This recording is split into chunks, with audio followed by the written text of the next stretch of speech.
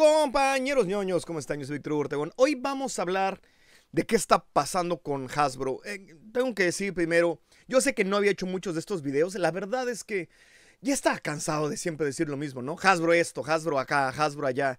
Y e inclusive cuando salió esta noticia dije, tengo mucho trabajo, no voy a hablar de ella. Gust eh, Cabrera, gran amigo diseñoño eh, en el grupo de Facebook, hizo un post increíble que voy a poner aquí. Un análisis bastante interesante de algo que habíamos estado platicando. De hecho, era un video que íbamos a hacer acerca de qué era lo que esperábamos más para final de año, porque no se sentía que viniera pues ninguna propiedad fuerte, nada grande. Y precisamente, y la consecuencia fue la noticia que imagino que en este momento la gran mayoría sabe, y si no lo saben, es esta, que Hasbro va a correr al 20% de su fuerza laboral. Pero creo que aquí lo que más tengo que decir, editorializando un poco, es las compañías gigantescas y transnacionales, y, a lo mejor suena comunismo, pero por lo general los errores no los cometen los consumidores y no los cometen los trabajadores, los cometen los ejecutivos. Los directores, los CEOs, son los que toman las decisiones que hacen que terminemos aquí y no son los que pierden el trabajo. Cuando las compañías les empieza a ir mal, lo primero que hacen es pasar esas pérdidas al consumidor.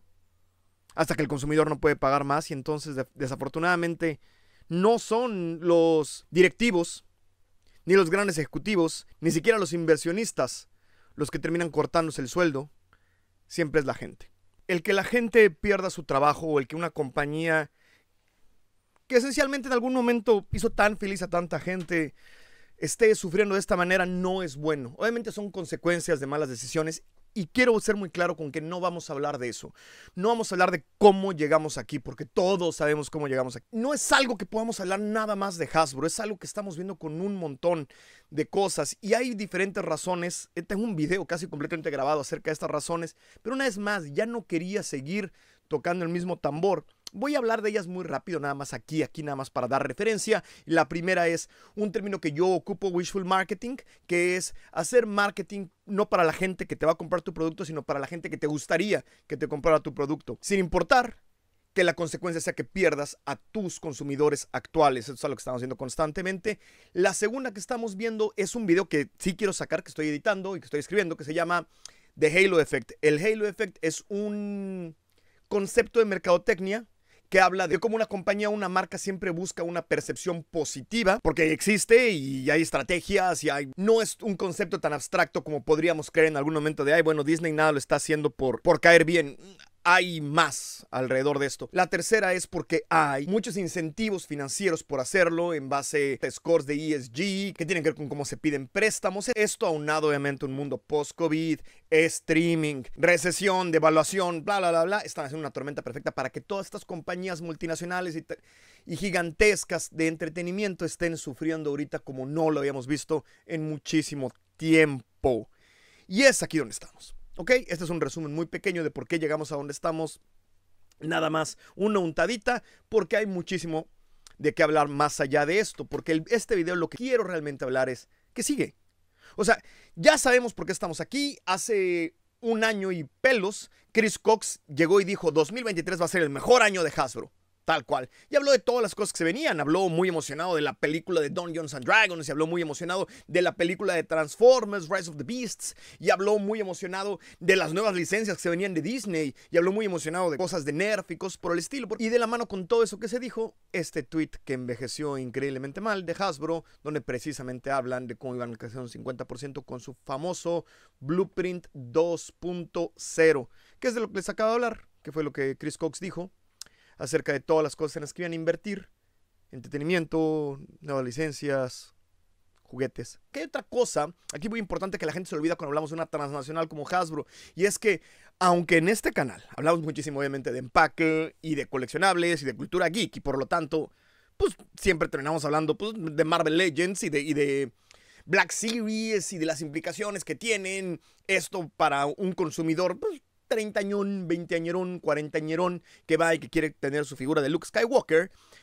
este tipo de compañías, este tipo de entretenimiento es algo gigantesco que va mucho más allá a cualquier cosa que tenga que ver con una figurita de plástico. Y esto es el problema verdadero de Hasbro, y es de lo que muy poca gente habla.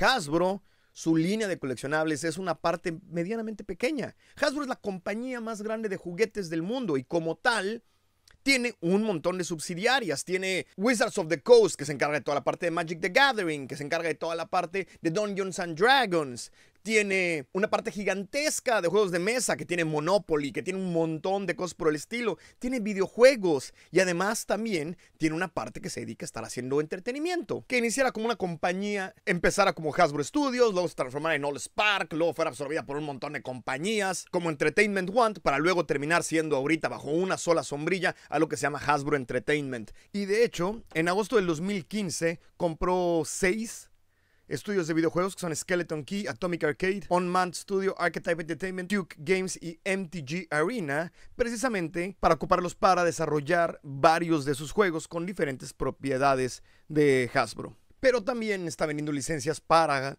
otros estudios como Larian Studios, que obviamente hizo ahorita el juego del año, Baldur's Gate 3, que ocupó su licencia de Dungeons and Dragons, pero además está haciendo juegos de Scrabble para móvil y o para teléfono celular y muchísimos juegos de estos. Hay que entender que ahorita de los juegos que más dinero dejan son los juegos de celular. Y Hasbro, teniendo las licencias más importantes de juegos de mesa, créanme que no lo ha dejado ir. Tiene un montón de licencias vendidas y un montón de estudios en desarrollo de videojuegos móviles para este tipo de proyectos. Esto es un mundo entero porque hay un montón de adquisiciones y de cómo siguió Chris Cox. Es un, es un video completo para otro día. Lo único, que, lo único que tengo que decir al respecto es que Hasbro hace muchas cosas. Y el mundo de coleccionables y las cajas de plástico y todo en lo que nosotros nos desenvolvimos durante tanto tiempo es una parte diminuta. Porque esto tiene que ver con la verdadera razón por la cual estoy haciendo este video. No es para decirles todo esto que ya lo habíamos platicado, no es para decirles que obviamente las ventas están bajando porque Disney se está desplomando. Y perdón si a alguien le ofende lo que le tengan que decir, esto no, esto no es una editorial de mi parte, simple y sencillamente si viéramos mes con mes y propiedad tras propiedad tras propiedad que Disney ha estado poniendo ya sea en películas o en series en su plataforma de Disney Plus, veríamos que constantemente menos gente las está viendo. Y esto lo estamos viendo en todos lados. Entonces, el entretenimiento, ¿cómo lo conocemos? Se está transformando. Quiero pensar, y déjame en los comentarios ustedes cómo sienten, pero quiero pensar que muchos están un poco hartos y aburridos de estar viendo constantemente el mismo entretenimiento y sobre todo bajo la nueva métrica que nos están dando, que muchas veces es inverosímil y se siente que no necesariamente es para mí. Al cambiar de mercado, obviamente, aún no he encontrado ahorita un nuevo público que lo consuma, un nuevo público que compre las figuras o un nuevo público que compre las playeras, las loncheras, etc, etc, etc, y todas las licencias. Y ese es el segue que quería ocupar para lo que se trata este video, porque realmente lo que queremos hablar aquí es de esta nueva noticia que nos dejó el gran amigo del canal Nano Ovalle. Este, muchas gracias, Nano. También fue uno de los que nos puso este, uno de sus artes de Chabelo para en Halloween. En fin, lo interesante aquí es esto, y esto es de lo que quiero realmente venir a platicar, es Hasbro y McFarlane. No es necesariamente una unión que vamos a ver en el que McFarlane va a empezar a hacer Marvel Legends, ni Star Wars, ni nada por el estilo. McFarlane sigue teniendo DC, sigue teniendo lo que sigue teniendo. Pero aquí la parte importante que, hay que recordar es que McFarlane, la única licencia propia como tal de ellos es Spawn, está en su logo. Hasbro tiene muchas licencias, literalmente compartiendo o vendiendo sus licencias o distribuyendo sus licencias para McFarlane en su línea de Transformers, Power Rangers, G.I. Joe, y Dungeons and Dragons con su línea de Page Punchers. Page Punchers tiene dos escalas, una de 3 pulgadas y una de 7, y por lo general vienen con un cómic. Creo que este va a ser el futuro de muchísimas marcas, el empezar a abrir sus licencias, pero las licencias que están abriendo no son licencias comunes y corrientes, son licencias que en el último año los cómics dejaron sus casas productoras o que encontraron casas productoras en casas muy, muy pequeñas. Me refiero a las marcas de Power Rangers que lo hacía IDW y ya no lo hace. G.I. Joe, que también lo hacía IDW, también perdieron la licencia. Dungeons and Dragons, que hasta donde me parece, aquí a lo mejor estoy completamente equivocado, porque además Dungeons and Dragons tiene un montón de diferentes tipos de distribuidoras y cosas por el estilo. Me parece que tenían su propia editorial y su manera de distribución. Si alguien sabe más de esto, me voy a disculpar. Este, la mera verdad es que no les es suficiente. Y Transformers, que también IDW perdió la licencia.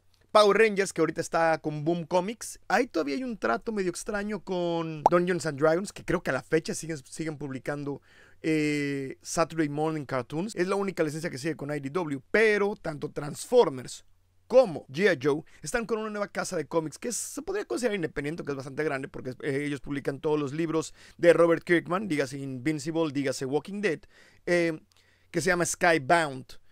Pero lo más importante es que Skybound es una compañía hermana o prima de Image Comics, que obviamente uno de los socios fundadores y dueños es Todd McFarlane. Creo que lo que está empujando aquí más que nada es, son cuatro compañías que no tenían casa como tal. Pero la licencia estaba muy viva. Tenía mucha carnita. Las separan, las mandan para Skybound, que es parte de Image. Power Rangers es parte de Boom Studios, que es un estudio pequeñitititititito que de hecho creo que estaban haciendo hasta Kickstarters para poder sacar los cómics de Power Rangers. Y creo que de este lado viene la pedrada. Viene de Hasbro intentando empujar y revitalizar sus marcas a través de cómics nuevos, porque todas estas propiedades que están iniciando con Page Punchers son propiedades que se están revitalizando o que se revitalizaron ya sea en octubre o en noviembre de este año. Cómics que acaban de salir o empezar. De hecho, el, más interesante de todos es G.I. Joe, donde no nada más acaban de cambiar de casa Skybound, sino que además regresaron al legendario escritor Larry Hama, que es uno de los escritores principales que le dio vida a muchísimos de los personajes originales. Muy probablemente van a ser figuras de 3 pulgadas, que no existen en propiedades de Hasbro. Aunque Transformers tiene muchas escalas, unas chiquitas, otras granotas, unas medianas. Y hay de todos los Transformers abajo del sol. No hay muchas líneas de Power Rangers o inclusive de Dungeons and Dragons en escala pequeña. El problema principal con el que se encuentra ahorita Hasbro, Disney y muchas de estas compañías es que en el momento de ellos producir sus propias películas, entretenimiento, figuras de acción, lo que ustedes quieran es que terminan absorbiendo el gasto completo. Y es algo que Disney había sido muy inteligente en empezar a mover sus licencias para que otra gente tomara esos gastos, porque ellos en realidad no producen juguetes. Después de que a principios de septiembre y a finales del último cuarto se desplomaran todavía más las acciones de Hasbro a un bajo que nunca hayamos visto, inclusive más bajo de lo que había hecho el video de este año, es muy probablemente el futuro de muchas marcas. Empezar a descentralizar y a mover sus licencias, porque conforme empieza a bajar el interés por este tipo de propiedades en general. Las propiedades en las que esencialmente estaba anclado no les está yendo tan bien, no es tan bien como les iba antes, igual que con Star Wars, igual con bla bla bla bla. Y no me queda de otra más que acordarme de lo que pasó con Marvel cuando empezó a vender cada una de sus licencias. Si algunas se habían preguntado por qué Spider-Man no vivía con las películas del MCU o por qué le pertenecía X-Men a Fox, es precisamente porque Marvel después de llegar a la bancarrota empezó a vender licencias. Creo que Hasbro no está ahí, no está vendiendo licencias, pero definitivamente está buscando a alguien que le produzca en particular producto de bajo costo y nadie hace producto de bajo costo como McFarland. ¿Qué es lo que sigue? ¿Qué es lo que sigue para nosotros? ¿Qué es lo que sigue para ustedes? ¿Qué es lo que sigue para el entretenimiento en general? Hasbro no es el mismo Hasbro de hace dos años, en, tanto en sus licencias como en sus productos. Disney definitivamente no lo es. Estamos viendo el resurgimiento y el surgimiento de nuevas marcas estamos viendo el resurgimiento y el surgimiento de nuevas propiedades de entretenimiento que están tomando al mundo por sorpresa. O sea, el entretenimiento no se ha acabado. Los coleccionables, los juguetes, la pasión no se ha ido a ningún lado. La gente sigue diciendo que, que ah, es que la gente está harta de los superhéroes. Yo no creo que la gente esté harta de los superhéroes. Invincible está haciendo un hitazo. Yo creo que la gente está harta de los mismos superhéroes y de las mismas historias. La gente está harta de promesas vacías que terminan sin entregar lo que el consumidor quiere. ¿Qué sigue para nosotros? Van a seguir comprando Hasbro. Yo no es que odie a Hasbro, pero no tengo casi nada de interés en nada de sus nuevos productos, sinceramente. Hay un par de Spider-Man que todavía me interesan porque obviamente me gusta la propiedad, me gusta el Scarlet Spider muchísimo, me gustan algo de, de lo de Star Wars clásico, obviamente, pero la gran mayoría de las propiedades nuevas, tanto de Hasbro como de Disney, eh, perdón, o sea, pero por el otro lado, en la otra mano, estoy muy interesado con otras líneas nuevas que están saliendo, tanto de juguetes como Fury Planet, como algo de anime, estoy disfrutando muchísimo eso, entonces, pues creo que era normal, creo que es el mentado péndulo, que empezó por un lugar en el que todo el mundo estaba consumiendo lo mismo y ahorita lo irónico es que las cosas se están descentralizando y eso me da gusto. Eso me da mucho gusto. Me da mucho gusto que todos podamos celebrar nuestros gustos diferentes, que no todos tengamos que ir corriendo a ver la misma película, va a haber cosas para todos. Lo único que tienen que hacer es bajar el presupuesto de las películas para que deje de ser tan importante que sean un hitazo y tengan un poquito más de libertad creativa los creadores y no los ejecutivos esperando una devolución de su inversión. Y creo que cuando eso pase y cuando las películas empiecen a costar otra vez 50, 40, 30 millones de dólares como Godzilla y la gente no esté tan preocupada por triplicar su inversión cuando se invirtieron 300 millones de dólares en hacer algo de entretenimiento, vamos a poder empezar a tres proyectos de pasión y no películas blandas diseñadas con tablas de Excel y lo que parece ser inteligencia artificial. Son nuevos renaceres. Desafortunadamente para esto tuvieron que perder el trabajo muchísima gente en una economía increíblemente difícil, donde cada día es más, más, más caro ir al cine y consumir este tipo de productos. Y es el mundo en el que estamos viviendo, no se los tengo que decir. Y este es mi editorial. Y ya, me voy. Muchas gracias por ver este video. Nos vemos a la próxima. Yo sé que no he estado haciendo mucho de estos videos, ya se llegaron hasta el final, les cuento. Es porque no quería convertirme en el canal que odia a Hasbro. No, no, y, yo sé que eran los videos que estaban teniendo más views, pero era lo que realmente estaba sucediendo. Y por eso, por eso dejamos hacer un poquito estos videos. Quiero empezar, definitivamente vamos a, vamos a seguir rediseñando empaque, vamos a seguir rediseñando muchísimas cosas, y vamos a seguir analizando, y vamos a seguir viendo conceptos. Todo eso va a seguir. Nada más ahorita tenía mucho trabajo para seguir haciendo. Yo estoy haciendo dos rediseños ahorita importantes. Uno del logotipo de Mythic Legions y otro precisamente del póster de Strange World porque hay cosas interesantes de que hablar al respecto, pero no quiero seguir diseñando cajas de Hasbro, sinceramente, porque creo que ya todo lo que se tenía que decir ya se dijo. Aunque les voy a ocupar de ejemplo para un par de videos que vienen. Y es ahí donde quiero terminar esta conversación, porque es una conversación al final del día. Obviamente tengo que, tengo, como siempre, darle agradecimiento a todos nuestros patrones, a Normita Medina y a, y a Notji, ya no es el licenciado, Notji y Lorlor. Muchísimas gracias. Y este, déjenme sus comentarios ustedes qué creen. ¿Qué sigue? Y ya, nos vemos. Cuídense mucho. Un gran abrazo.